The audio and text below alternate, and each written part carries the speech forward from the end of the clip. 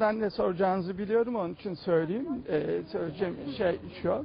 Aslında e, yani bu kadar bu kadar tartışılacak e, çok tartışıldı gördüğüm kadarıyla.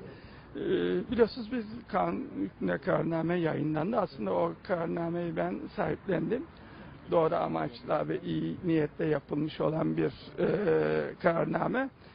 Yalnız e, orada bir boşluk görüyorum ve e, tereddüdüm şu, ileride durumdan vazife çıkartacak e, bazıları hepimizi çok üzecek olaylara vesile verebilirler. Onun için ufak bir düzeltmeyle bunun önüne geçilebilir diye düşündüm.